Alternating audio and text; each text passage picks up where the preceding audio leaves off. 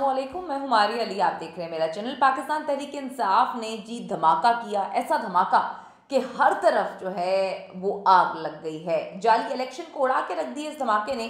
पैंतालीस हलकों में धांधली के नाकाबले तरदीद सबूत जो है आज मीडिया के सामने आवाम के सामने, दुनिया के सामने पेश कर दिए हैं। इलेक्शन कैसे चोरी हुए, खुफिया कैमरे से वीडियोस जो है वो सामने आ चुकी हैं। पैंतालीस नशस्तों को नून लीग के जो 18 एमक्यूएम को और 17 पाकिस्तान पीपल्स पार्टी को जो सीटें दी गई हैं, ये किस तरह से सारे मामला को फ्रॉड किया गया? पाकिस्तान तहरीक इंसाफ की प्रेस कॉन्फ्रेंस के बाद इंटरनेशनल मीडिया ने अमेरिका, यूके और ईयू पर प्रेशर बढ़ा दिया है, क्योंकि सबूत अब सामने रख दिया ना पीटीआई ने। 8 फरवरी को होने वाले आम इंतबात कल अदम करार देने की दरखास्त सुप्रीम कोर्ट ऑफ़ पाकिस्तान में समात के लिए भी मुकर हो चुकी है। धमाके कर दिए भाई खान ने, इमरान खान ने कहा था कि, बल्कि साबित कर दिया कि अगर मैं हकूमत में नहीं होऊँगा, ज़्यादा ख़तरनाक होऊँगा। तो जेल में रहकर जी पहले से ज़्यादा ख़तरनाक हो चुके हैं। अडयाला जेल में कैद रहकर भी उन्होंने अपने लीडर्स और उनके जो टाइगर्स हैं उनके ज़रिए इलेक्शन में जो धांधला किया गया, उसको बेनकाब करने के सबूत, बल्कि नाकाबले तरदीद सबूत जो हैं, वो मीडिया के सामने रख दिए हैं। कौमी असम्बली की 177 नशस्तों पर कामयाब हुए। पीटीआई ने फॉर्म 45 का जो डेटा है, वो जारी कर दिया है। पीटीआई ने प्रेस कॉन्फ्रेंस में कौमी असम्बली के 45 हलकों की तफसीत जो है, वो जारी की हैं। कौमी असम्बली के 45 हलकों में फॉर्म 45 की बुनियाद पर जीते, मगर हमें हरा दिया गया। यानी कि जो बड़े बड़े सहाफ़ी हजरात बोल रहे थे वो सहाफ़ी भी बोल रहे थे, जो इमरान खान के खिलाफ थे। रात को बंदा जीत रहा होता था, सुबह बंदा हार गया। दो दिन तक इलेक्शन की वोटिंग ही चलती रही। अब जी, वो कहते हैं कि हराई गई पैंतालीस नशस्तों को, नून लीग को 18 एमक्यूएम को 17 पीपल्स पार्टी को छः सीटें दे दी गई हैं। पीटीआई ने क्लेम किया, सबूत भी दिए हैं। दो आज़ाद एक एक सीट आईपीपी और मुस्लिम लीग नून को जो है दे दी गई है। इलेक्शन 2024 में धांधली के इल्ज़ाम के मामले पर पाकिस्तान तहरीक इंसाफ ने फॉर्म 45 का डेटा पब्लिक कर दिया है। पीटीआई के मुतासर उम्मीदवारों ने इस्लामाबाद में ये प्रेस कॉन्फ्रेंस की और मुल्की और गैर मुल्की मीडिया को फॉर्म 45 का डेटा फराहम किया है। पीटीआई की जानब से मीडिया को धांधली से मुतालिक चंद वीडियोस भी दिखाई गई हैं। इस दौरान पीटीआई के तर्जुमान रऊफ हसन ने ब्रीफिंग के आगाज़ में कहा कि इलेक्शन 2024 धांधली की वजह से हमेशा याद रखा जाएगा। पीटीआई उम्मीदवारों के खिलाफ इलेक्शन में फ्रॉड किया गया। हमारी पचासी नशस्तें धांधली से छीन ली गई। कई हलकों में टर्न आउट कम था मगर वोट ज़्यादा निकले। हसन रऊफ ने कहा कि फॉर्म 45 में जो उम्मीदवार जीत गए थे वो फॉर्म 45 में हार गए। कौमी और सूबाई असम्बलियों में जो वोट कास्ट हुए इसमें बहुत ज़्यादा फ़र्क है तजाद है।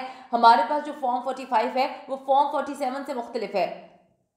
अच्छा जी आ, हमने छियालीस सीटों पर इंतबी जो है दरखास्तें मामला को लेकर जो है वो दे दी हैं। तर्जुमान ने कहा कि पीटीआई 177 सीटों पर कामयाब हुई, जिसमें से बानवे सीटों पर हमें कामयाबी दी गई। दीगर नशस्तों में से 46 का डेटा मौजूद है, जबकि 29 सीटों से मुतालिक डेटा इकट्ठा किया जा रहा है। ये डेटा तीन बेंच मार्क्स की मदद से जमा किया गया है। सलमान अक्रम राजा ने कहा कि इलेक्शन मुहिम में बरोज हर रोज़ हमारे वर्कर्स को उठाया जा रहा था। ये जमहूरियत पर खुला हमला है। कैंपेन चलाने नहीं दी गई। हमसे बल्ले का निशान छीना गया।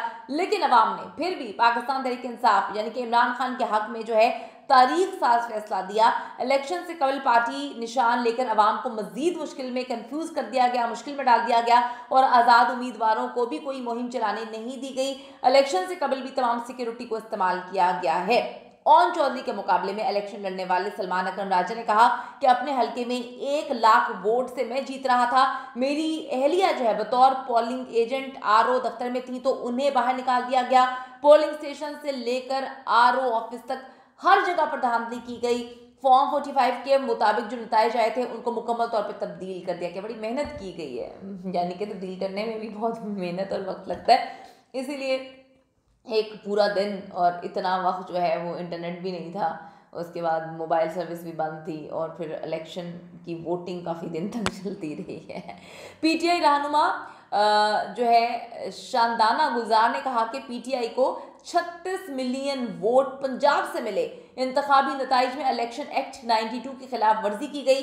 पंजाब से 155 सीटें जीती, मगर सिर्फ़ पचपन दी गई। इस्लामाबाद की तीनों नशस्तों पर भी हमारा मैंडेट चोरी किया गया। शानदाना गुलजार ने कहा कि इस इलेक्शन में बारह लाख पचास हज़ार वोट सिर्फ़ कराची से मिला। कराची में इतनी सीटों के बावजूद हमारी कोई कामयाबी नहीं है। कौमी असम्बली में तीन तीन बजे तक हमारी नशस्तें एक सौ चौवन थी। केपीके से हम 42 सीटों पर कामयाब हुए, लेकिन इलेक्शन कमीशन ने सिर्फ़ 32 उम्मीदवारों को कामयाब किया। कई पोलिंग स्टेशन से हमारे पोलिंग एजेंट्स को ही निकाल दिया गया। उन्होंने कहा कि आज के अदादा शुमार से हमारी कानूनी टीम को भी काफ़ी मुआवनत मिलेगी। हमारे तमाम नतज को प्रिजाइडिंग ऑफिसर और आरओ को नतीजा मुख्तलिफ़ जो है वो दिया गया। धांधली हमेशा होती है, लेकिन इस वक्त धांधला किया गया है। सियालकोट से ख्वाजा आसिफ के मुकाबले में इलेक्शन लड़ने वाली रिहाना डार साहिबा ने कहा कि मेरा सियासत से कोई ताल्लुक नहीं था। मैं एक घरेलू खातून थी, लेकिन ख्वाजा आसिफ ने मुझ पर जो जुल्म कराए मैं उसके जुल्म के खिलाफ डट गई, मैं एक अकेली माँ, इस जुल्म के खिलाफ बाहर निकली और खौफ के बुत मैंने तोड़ दिए। उन्होंने कहा सियालकोट के लोगों ने जिस तरह से मुझे मोहब्बत, प्यार दी, मेरा साथ दिया, सब वोट इमरान खान का था सबने साथ दिया। मेरे पास सारे फॉर्म 45 मौजूद हैं, जिसके मुताबिक मैं जीती हुई हूँ। ख्वाजा आसिफ अपने फॉर्म सामने लेकर आए। मेरे मेरे बेटों पे जुल्म किया जाता रहा एक ख़त्म तो दूसरा शुरू हो जाता था।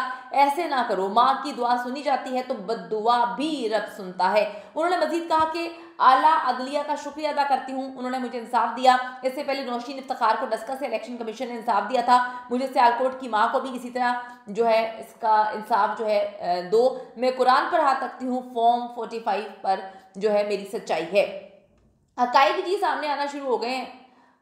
आज धमाकादार प्रेस कॉन्फ्रेंस कर दी। ऐसी प्रेस कॉन्फ्रेंस इसके बारे में मेरे ख्याल में कोई सोच भी नहीं रहा था। मरीम नवाज़ साहिबा, उनके वालिद इस वक्त जो है वो मसरूफ़ हैं कि किसी तरह से जो है जो भी बच्ची कुछ हुकूमत है, इनको मिल जाए। दूसरी तरफ़ पीपी जिस तरह से पीछे हटी, बाकी लोग जिस तरह से पोल खोल रहे हैं, मौलाना फजल रहमान ने कल बड़े इल्ज़ाम लगा दिए बहुत बड़े इल्ज़ाम लगा दिए हैं। उन्होंने हर चीज़ बाजवा साहब पे डाल दी है। उन्होंने जो है हर चीज़ जो है, एक दूसरे पे फेंक दिए और अपने आप को क्लियर करने की कोशिशों में आज पीटीआई ने एक ऐसी विकेट गिरा दी है, एक ऐसा सबूत दे दिया है। ये सबूत बहुत बड़ा है। इसकी वजह यह है इंटरनेशनल मीडिया इतने दिन से चीख रहा है खसूस अमेरिका चीख रहा है कि जी आवाम के साथ जो अवाम का मैंडेट है, हम उसी के साथ हुकूमत बनाएँगे, हुकूमत बने, धांधली हुई है इन्वेस्टिगेशन होनी चाहिए। वहाँ पर बहुत सारी चीज़ें जो है वो अया हो रही थी और आज सबूत देकर इंटरनेशनल मीडिया के सामने भी सबूत जो है वो दे दिए गए हैं। हर तरफ़ आग लग चुकी है। अब डेफिनेटली मामला जो है वो अलग होंगे। इंटरनेशनल मीडिया ने एक बार फिर जी इलेक्शन की शफाफियत पर सवाल उठा दिए हैं और दूसरी तरफ़ आठ फरवरी को होने वाले जो आम इंतबात हैं, उनको कल अदम करार देने की दरख्वास्त सुप्रीम कोर्ट ऑफ़ पाकिस्तान में समाप्त के लिए मुकर हो चुकी है। चीफ जस्टिस काजी फाइज ईसा की सरबराही में तीन रुकनी बेंच जो है, उन्नीस फरवरी को इसकी सम्मात करेगा। आज चौका छक्का नहीं मारा भाई, आज तो मैं कहती हूँ कि पूरी बाजी पलट दी है। इनको नहीं लगता था कि पीटीआई का जो धमाका है, इतना कारगर साबित होगा। उनके पास इतने सबूत होंगे, सबूत पेश कर दिए, मीडिया को बिठा दिया, इंटरनेशनल मीडिया को सब कुछ दिखा दिया और इसको कहते हैं कि प्रोग्राम तो बढ़ गया।